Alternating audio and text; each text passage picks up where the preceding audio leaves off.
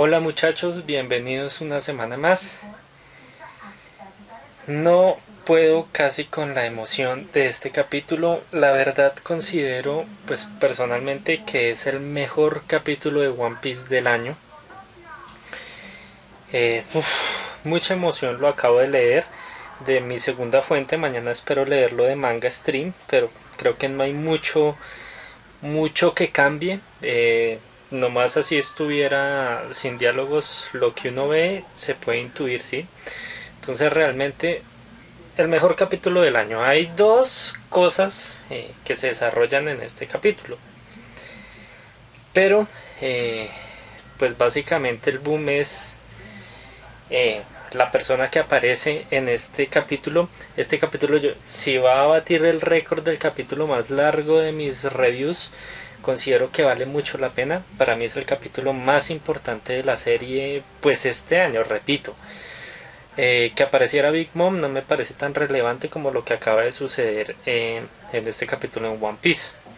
Pero pues adentrémonos un poco, eh, muchachos, para seguir un poquito el orden. Lo primero que hay que celebrar es la portada.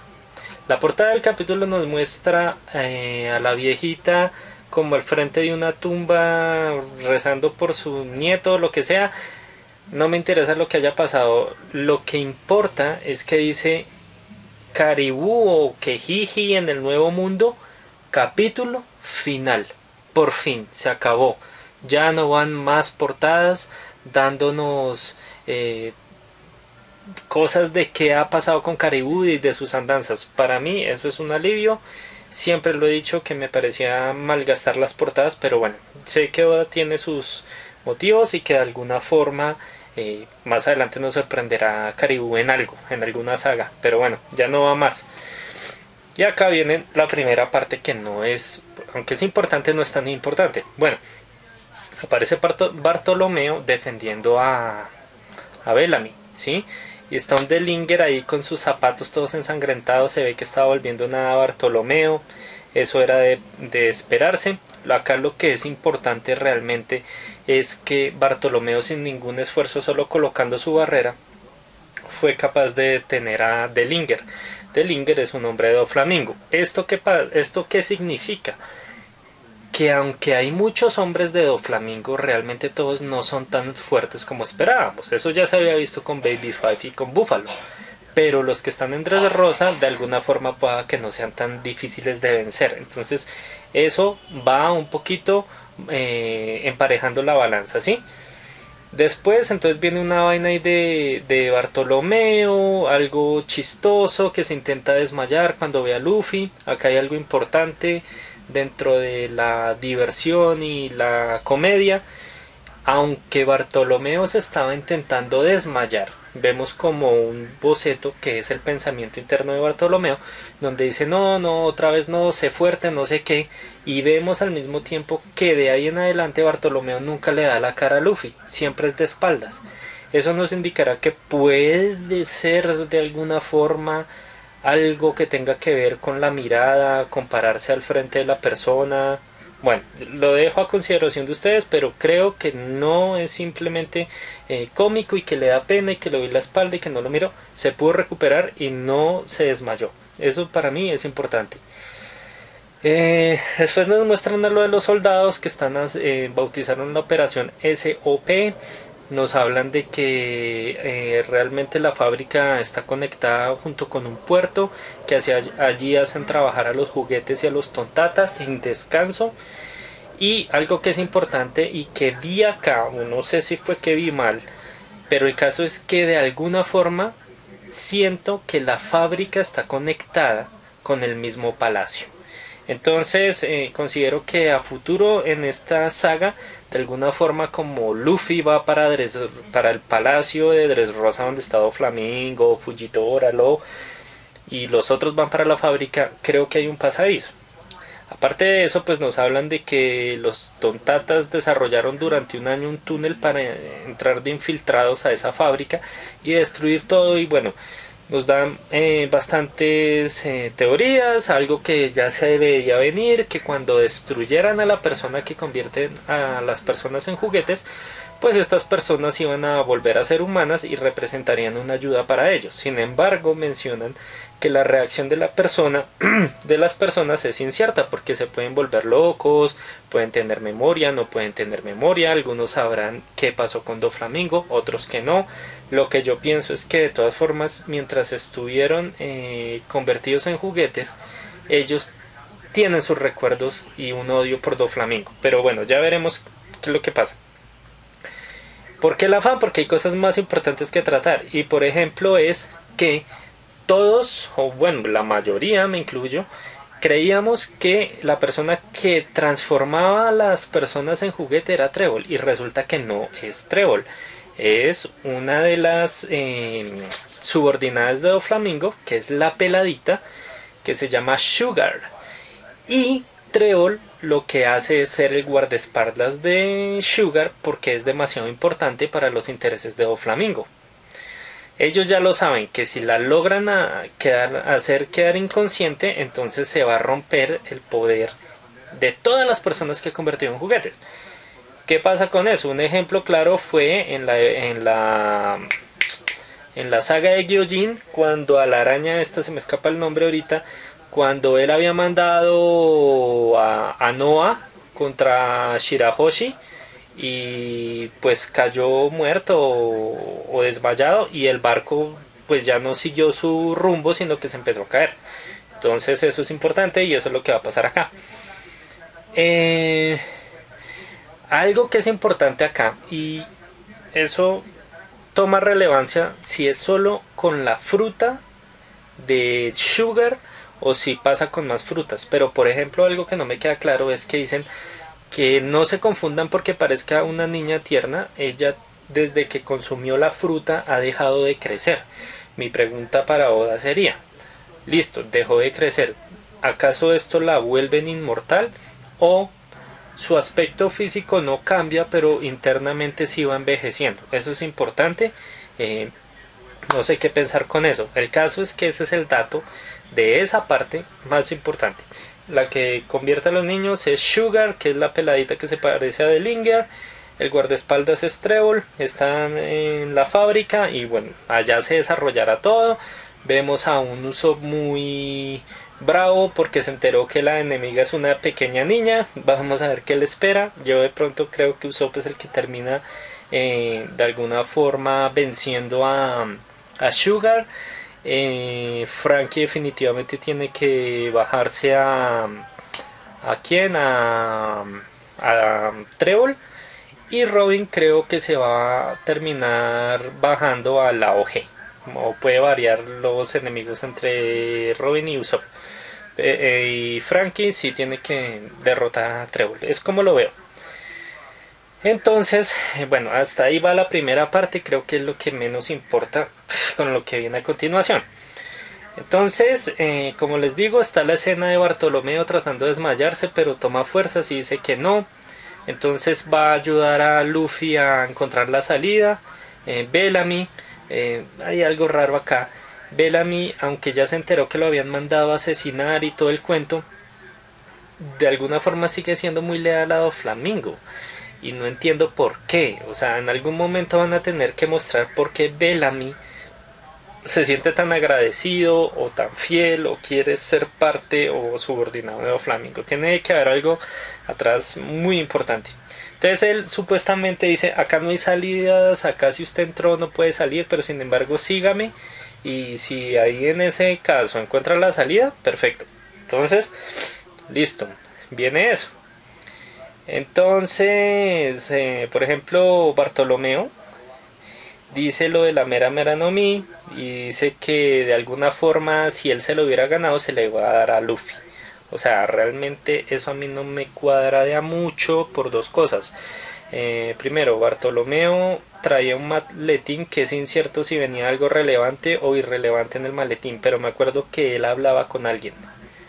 Entonces Bartolomeo considero que no se no se manda solo. Ahora, después eh, es que tengo que meter lo que pasa ahorita, pero creía que iba, digamos, a ser subordinado del que llegó ahorita y resulta que no, porque le dice, ¿y usted quién es para estar hablando así? Entonces, ¿qué es lo que pasa?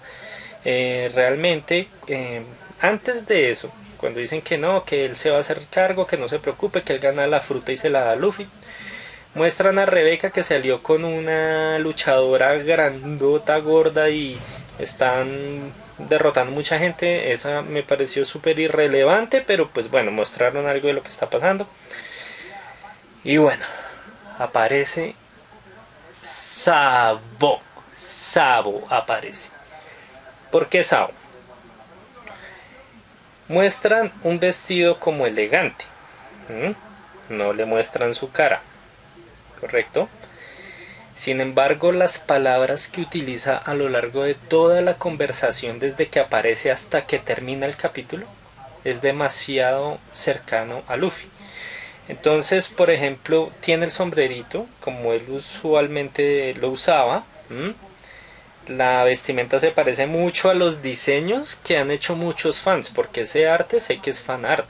Entonces le pegaron totalmente a cómo se vería un Sao actualmente. Lo que pasa es que la cara muy seguramente la va a tener eh, desfigurada, yo creería.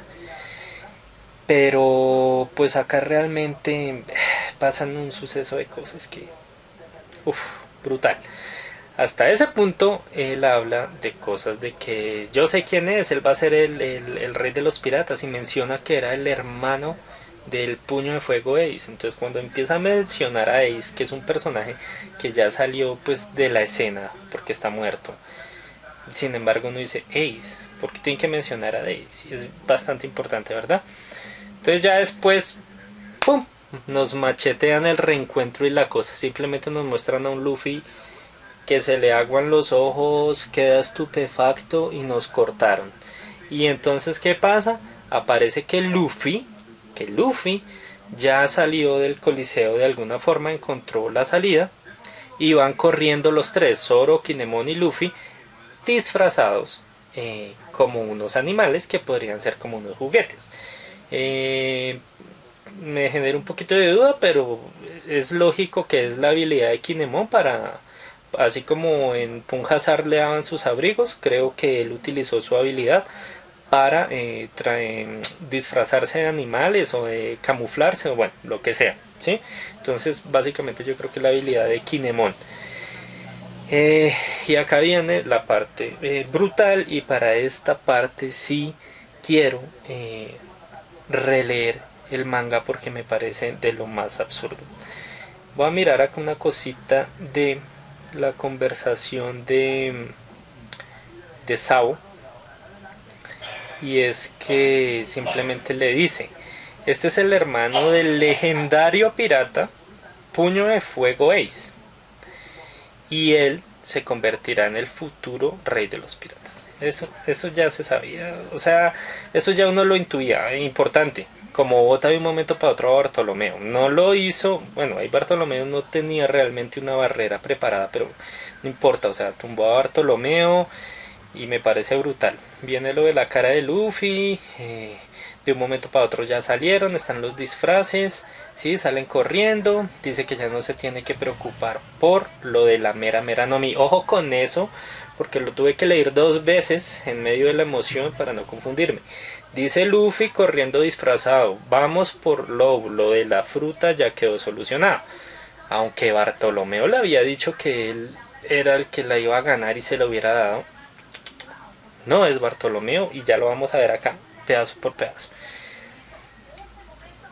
aparece Koala. Koala. ¿Se acuerdan la niña rescatada por Fisher Tiger que limpiaba y tenía unos problemas psicológicos de esclava y eso y que al final devuelven a, a su a su aldea? Pues de alguna forma Koala es revolucionaria. Entonces acá vienen amigos a condensar un poco de teorías de muchos de ustedes. Yo de verdad pues en esto de las teorías y eso no me he metido mucho tiempo. Yo hago los reviews. Mm, de pronto a partir del otro año empiezo con las teorías. Sí leo mucho las teorías que hacen en Alianza Pirata. Pero sí siempre sostuve que eh, o no sostuve, pero me acuerdo muy bien de la escena cuando bombardean el barco de, en el que se iba a escapar o en el que estaba Sabo ¿cierto? Por los tenribitos que Dragon no muestran que haya cogido a Sao, pero que le dicen, mire, recogí esto y va al barco pirata. Todo el mundo siempre se acordó que entonces Sao muy posiblemente se había criado con los revolucionarios y que se había encontrado con Robin y todo acierta. Entonces, acá lo que pasa es que, por ejemplo, Koala, vamos a ver la conversación, es corta, dice, Robin parece estar en este mundo, ha sido un, un gran tiempo, me gustaría verla de verdad. Le dice a la persona, ¿Lo ha encontrado? Eso es fabuloso. Responde la persona. Sí, pensé que cuando me viera me iba a pegar. ¿Sí? Dice, le pregunta a Koala, ¿lloraste? Y dice el tipo, no, no sería posible que yo llorara, dice. Y le dice Koala, aun si tú hubieras estado ahí, ¿qué hubiera cambiado? creo que dice, no hay respuesta a una pregunta como esa. Y acá nos presentan que dice, revolucionaria, eh, revolucionaria, maestra sustituta del karate Gyojin, ¿sí? Del karate de, de Gyojin. Eh, koala. Y acá viene, ojo amigos, lo que me distraje un poquito la primera vez. Y es que vemos a Luffy a Lucy, Lucy hablando por un de Mushi, pero Lucy ya, Luffy ya estaba corriendo con Zoro y con Kinemon, y este no es Bartolomeo, o sea que ¿qué pasó? Sabo, ojalá nos muestren esa escena majestuosa más adelante, pero lo importante es que le dijo, hey, tal cosa, usted no se, eso fue lo otro, le dijo, usted no de, atrás le dijo Sabo a Luffy, usted no debe quedarse con, la, con el fruto de Ace. O sea que Sao quiere el fruto de Ace. Y dice, le dice Sao a, a, a Koala, déjame saber cuando tú tengas información de la situación de abajo, o sea, de la fábrica. Koala le dice, entendido. Le dice, de todas formas, yo tengo que conseguir de vuelta el fruto de Ace. Y ahí decía, One Piece. No sé qué querrá decir ahí lo del 731, si hay hiatus o no. Eso se sabrá mañana en Manga Stream. O bueno, ustedes sabrán. Y nos muestran lo que nos había mostrado Oda tiempo atrás. Y que estaba en un SBS y se los voy a mostrar acá. Y es la voluntad de esa persona nosotros la debemos heredar. Nos muestran la tumba de Chirohige junto con la tumba de Ace. Nos muestran las tres copas. Nos muestran corriendo, dice, yo nunca pensé, hablando Luffy, realmente nunca pensé que él siguiera vivo. Entonces le pregunta a ¿de quién estás hablando? Y dijo, yo siempre pensé que él estaba muerto. Y nos muestra las tres copas. ¿Tres copas de qué? Ustedes acordarán muy fácil que Sao, Ace y Luffy cuando eran niños eh, compartieron un saque y eran las tres copas. Amigos, no hay dudas que es Sao, ¿sí? No hay dudas. Y más con esa última página. O sea, hubiera sido un poquito chévere dejarla incógnita sin mostrar el, burial, el, la tumba. Pero yo les quiero mostrar amigos y aparte si acá no se va a ver muy bien, búsquense en la, igual en la descripción voy a dejar el link del SBS del el tomo 68 del manga y los voy a mostrar acá. Y básicamente lo que le preguntaban a Oda era, Odachi, eh, yo fui, yo estuve en la exhibición de One Piece, no sé qué, y cuando, cuando vi el arte original del capítulo 668, la Alianza Pirata, eh, en, la, en la carátula se veía eh, tres copas en la, en la tumba de Ace. Solo tú y Luffy saben lo que eso significa. Ahora dice Oda.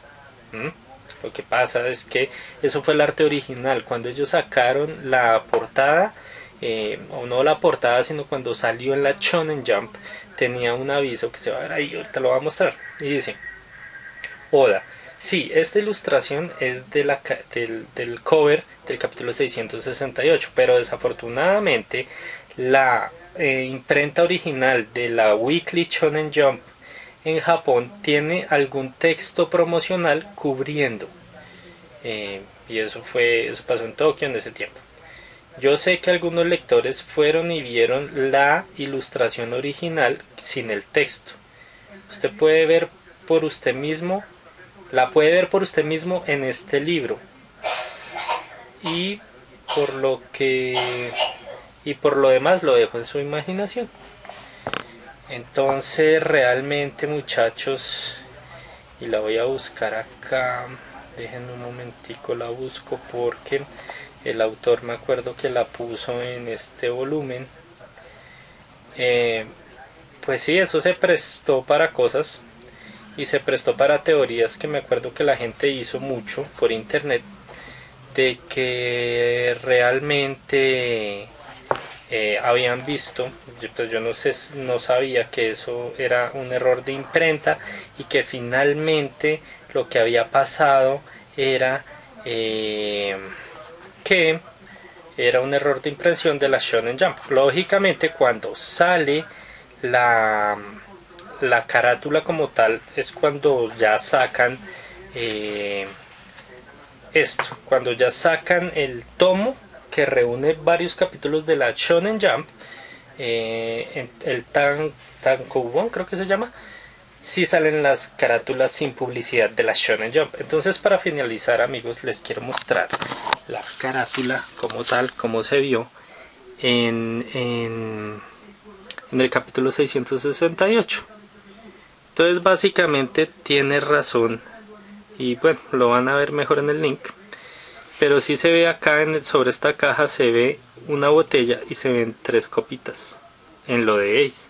Y todos sabemos que para ese entonces Luffy no fue quien decoró eh, quien decoró las tumbas. Eso quiere decir que el que dejó esas copas fue Sabo eso quiere decir que el ejército revolucionario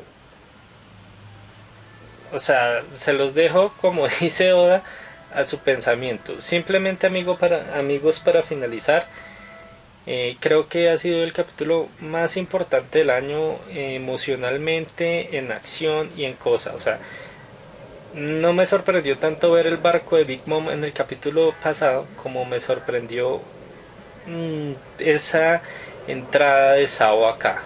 Que aunque mucha gente pues la especulaba, pues eh, lo supo hacer muy bien Oda. Y aparte de eso, creo que esto va más para los de Alianza Pirata.